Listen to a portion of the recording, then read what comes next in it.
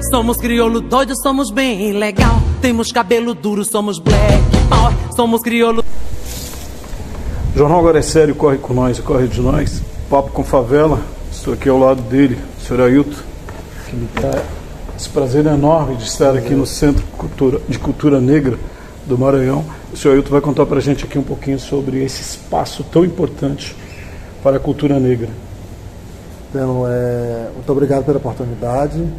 É, me chamo Ayrton, sou membro ativista do Movimento Negro aqui do Centro Cultura Negra do Maranhão.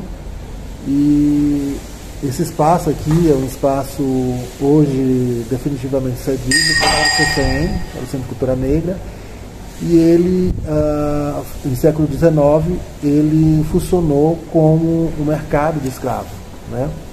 Um mercado de escravo e que eh, concentrava, eh, concentrou milhares de, de eh, dos nossos, das nossas ancestrais, nossas ancestrais, né? da, nossos ancestrais e que, por conta de estar próximo ah, do mar, servia então para desembarque ah, dos, nossos, dos nossos ancestrais, dos nossos irmãos negros e negras. Em seguida, ele ficou desocupado, serviu também para o mercado de pólvora e eh, ficou por um período abandonado, era de responsabilidade da prefeitura e ao identificar esse prédio, que hoje é tombado pelo patrimônio histórico do Estado, nós resolvemos ocupar, fazíamos as nossas reuniões, atividades à noite, no final de semana, e, e durante o dia funcionava uma escola municipal. Já em meados de 92, 93, tivemos a, a doação definitivamente da prefeitura para o Centro de Cultura Negra do Maranhão. A importância que esse centro tem na formação dos jovens negros e essa autoestima que ele produz. Então, o, o Centro de Cultura Negra do Maranhão é a entidade mais é, a primeira, podemos dizer assim, né, do estado do Maranhão. Foi a primeira organização do movimento negro do Maranhão. É, nasceu em 1979, ainda ali sob as barbas da ditadura, mas nessa importância da mobilização e organização é, política e cultural da população negra no estado do Maranhão. E de lá para cá, ela vem desenvolvendo atividades, ações, programas e projetos na área da educação, da cultura, a, da saúde, atuando diretamente nos territórios, nos territórios quilombola, com o projeto, é, projeto Vila de Negro e também com uh, projeto na área da infância, com o Bloco Afro Comabu, é, que inclusive contribui, como você falou, para, para a autoestima da população de jovens, e, e jo, de jovens negros e negras do estado do Maranhão.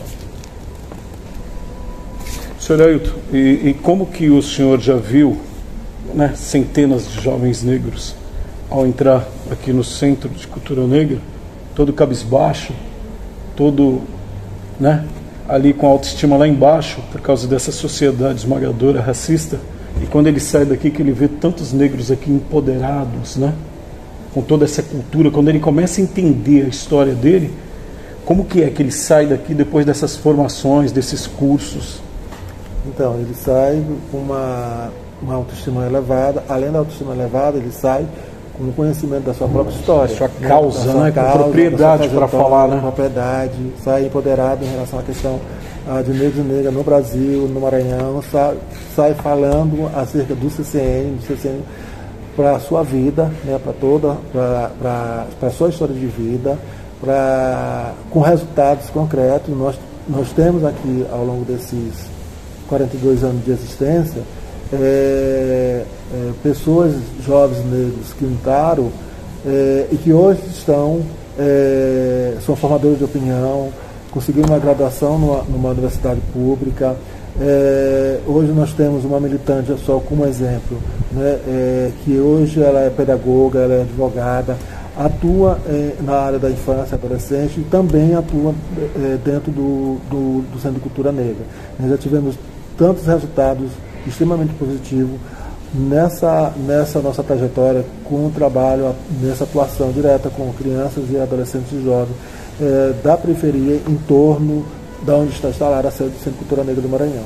E isso tem contribuído para que a gente é, não deixe a vulnerabilizado né, e que seja cooptado pela organização criminosa, pelo, pelo tráfico, né, pela, pela violência. Sim. Mas trazendo para cá, inclusive, para discutir, contextualizar né, é, esse sistema que nós estamos, estamos vivendo, como você bem falou e frisou, que é um sistema de, violento na perspectiva do, do, racismo, que o racismo ele está muito bem estruturado na sociedade, né, o racismo é estruturante, institucional, né, e que ah, viola os direitos da população, é, da população negra no estado do Maranhão, inclusive de estar nos espaços de decisão e de poder.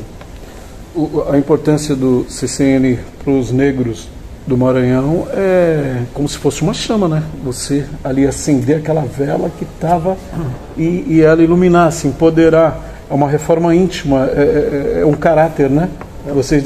Que. Né? Desenvolve. Né? E, e, o CCN tem contribuiu, tem contribuído para essa afirmação na, enquanto negro de uma sociedade, uma sociedade racista. O CCN, a sua importância ali, é, quando nasceu, nessa mobilização é, de trazer as pessoas para dentro do Centro Cultura Negra para compreender né, é, a nossa história, né, de, de, que veio de, luta, de né, África, né? de luta, foi de luta, que veio né? de África, que apostou aqui e que aqui estamos e que precisamos enfrentar cada dia um racismo, um ato de violência, né, uma sociedade que é, jogou e tem jogado cada vez mais a população para as periferias, né, de ausência de políticas públicas, né, de, de, de situações de ato de racismo é, no, numa, no mercado, no supermercado,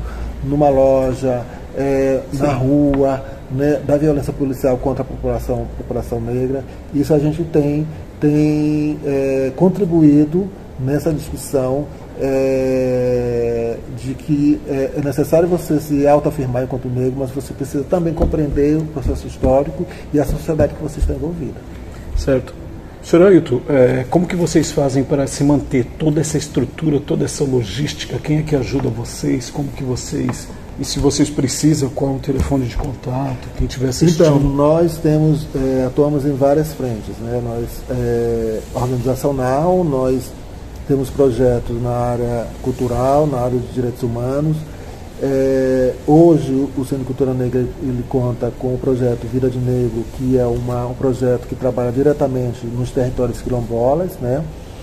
É, na, no acompanhamento jurídico do, das áreas de conflitos, mas também no acompanhamento na organização jurídica da, e política da, das, dos, dos territórios quilombolas mas também nós é, trabalhamos com criança e adolescente é, e jovens através do projeto A Coerês, que é uma, o despertar das habilidades culturais desse jovem, desse adolescente, no contraturno da escola. Se ele está de manhã na escola, à tarde ele vem para a atividade. Se ele está na atividade, estuda à tarde. É uma integração, né? É uma integração.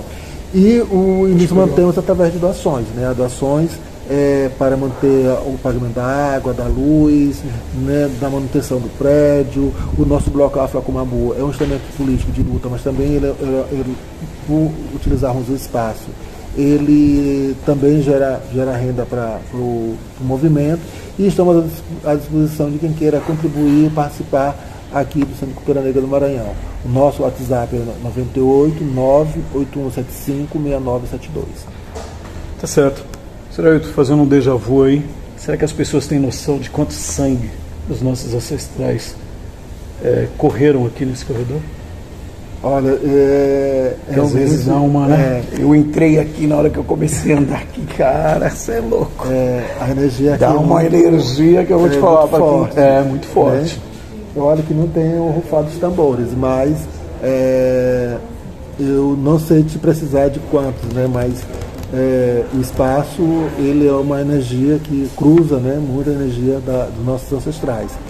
Mas é, e nós estamos preservando né, é, esse, esse espaço né, que, tem, que tem tudo a ver com, com a nossa identidade étnico, cultural e religiosa. O Maranhão tem noção, tem um estudo de quantos negros foram subtraídos da África para o território maranhense? Existe, Existem estudos, né, que agora eu não sei te, te precisar. Mas assim por alto, assim, É, você tem mas noção? basta, basta saber que nós temos, nós somos um, um estado com praticamente 80%, quase 80% da população é negra. Pardas. Chegou a Bahia. Hein? É igual a Bahia. vocês É igual a Bahia. parecidos. É. muito parecido com a muito, Bahia, né? Muito parecido com a Bahia. Então, assim, é um estado é, rural que tem muita, tanto na, na, na região metropolitana como nos municípios, muitos territórios quilombolas, é, muitas terras de, de, de negros e, é, e que contabiliza aí os dados estatísticos do IBGE praticamente quase, quase 80% de negros e negras na formação é, desse Estado. Então, assim, é um legado muito grande, não podemos dizer e negar né, da existência da contribuição do povo negro para o desenvolvimento do Estado brasileiro, para a economia, para a cultura, né, para, para a religião eh, e para a cidadania, né, e para a, a- a afirmação desse- dessa população enquanto negros e negras nessa cidade. Então, eh, eh, negar tudo isso é negar uma, uma trajetória de uma história eh, de luta e de resistência do povo negro nessa- nesse Estado. Bem, podemos dizer então com afirmação que os negros têm uma boa porcentagem na construção desse Estado. desse Estado. Inclusive, é, há, há registro de que todo aquele centro histórico, o centro histórico da nossa cidade, ele foi construído com as mãos negras. né? Então, a ancestralidade está presente aqui, nesse, nesse prédio que é tombado pelo Estado, dentro de uma, de uma periferia, mas também esse patrimônio histórico da humanidade, né, que foi reconhecido pela, pela Unesco em 1996, ele também é um espaço que foi construído pela, pelas mãos de negros e negras é, há século passado. Tá certo, portanto está aí. Tomara que os políticos que estejam assistindo essa matéria eh, tenham a sensibilidade de perceber toda essa história desse Estado e praticamente ressarcir, né? Ou ajudar, eh, trazer eh, parceiros para o, o- o CCN aqui do Maranhão. Senhor Ailton, foi um prazer enorme Eu falar com o senhor e muito obrigado por ter aberto as portas aqui do Centro Cultural. Regina, eu, é, as nossas vozes chegando na periferia de São Paulo, é isso? Com certeza, rádio. isso é. Então, Exatamente. assim, ficamos muito felizes em compartilhar nossa experiência e nem ter a oportunidade um dia de conhecer seu trabalho de perto lá na, nas periferias de São Paulo. Demorou, tranquilo, é nóis. Jornal Agora é Sério, corre com nós e corre de nós.